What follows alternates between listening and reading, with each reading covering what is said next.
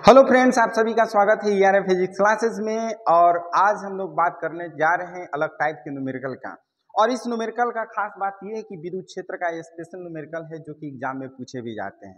देखते हैं इस टाइप के न्यूमेरिकल को कैसे सॉल्व किया जाता है और आपका, आपको बताया जाता है हमेशा कि जो भी न्यूमेरिकल बनाइए उसको क्वेश्चन को ध्यान से पढ़ लीजिए और पढ़ने के बाद जो गिवन में रहता है, उसको पहले नोट कर लेते हैं, बनाना आसान हो जाता है। तो चलिए हम बात करते हैं कि इस न्यूमेरिकल को सोल्यूशन हम लोग कैसे करेंगे।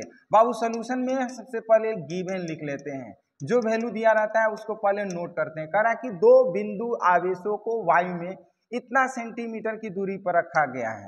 की one is equal to plus ये सोलह माइक्रोकुलम है। इसको हम बाबू सोलह गुड़े दस का पावर माइनस छ कुलम कर लेते हैं। और Q2 का वैल्यू आप देख रहे हैं, माइनस नाइन माइक्रो कुलम है। इसको हम लिख लेते हैं minus nine into ten to power minus six coulomb कह रहे हैं कि R is equal to eight centimetre है।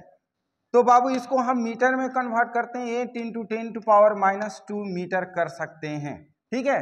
कह रहा है, उस बिंदु की स्थिति ज्ञात कीजिए जिस पर परिणामी विद्युत क्षेत्र शून्य हो। तो यहाँ पर देखिए, हम ए और बी दो बिंदु बना लेते हैं, जिस पर Q1 आवेश है और Q2 आवेश है। क्योंकि Q1 जो है वो पॉजिटिव है और Q2 जो है वो नेगेटिव है, और दोनों के बीच का डिस्टेंस स्मॉल r है। याद रखिए। अब कह रहे हैं कि ऐसा बिंदु की स्थिति ज्ञात कीजिए जिस पर विद्युत क्षेत्र शून्य हो। विद्युत क्षेत्र शून्य जो होता है, वो नेगेटिव की तरफ़ होता है। याद रखिएगा पॉजिटिव की तरफ़ नहीं होता है। हमेशा नेगेटिव तो मान लिया कि नेगेटिव की तरफ़ कोई बिंदु P है। कोई बिंदु P मान लिया। और ये P बिंदु जो है, वो माइनस क्यू आवेश से एक्स डिस्टेंस पर है।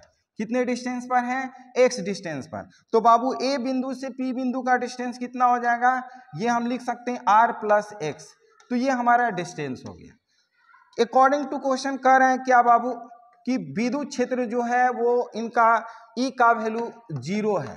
तो ई e का वैल्यू ज़ीरो कब होगा? जब ई e वन का वैल्यू जो है, वो ई टू का वैल्यू के इक्वल हो जाए। जब दोनों वैल्यू इक्वल हो जाते हैं तो इनका ऐड जो होता है, वो ज़ीरो होगा। क्योंकि इधर लाएँगे, दोनों का वैल्यू इक्वल है तो प्लस माइनस ज़ीरो हो जाएगा।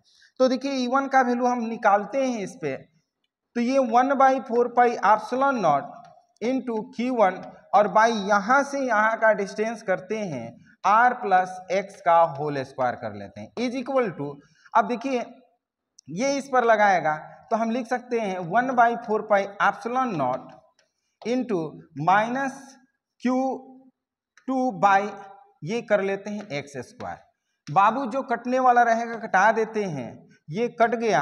अब देखिए हम सबका वैल्यू पुट कर लेते हैं। Q1 की जगह पर Q1 का वैल्यू हम पुट कर लेते हैं। 16 into ten to power minus six और बाई ये r प्लस एक्स का होल स्क्वायर कर लेते हैं। r प्लस एक्स का whole square is equal to minus की टू की जगह पर हम कर लेते हैं बाबू और nine into ten to power minus six और बाई ये एक्स स्क्वायर कर लेते हैं।